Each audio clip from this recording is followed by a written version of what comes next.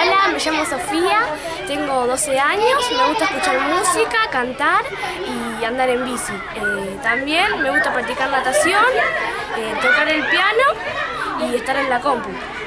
Eh, mi materia favorita es sociales y bueno, nada más. cuando seas grande?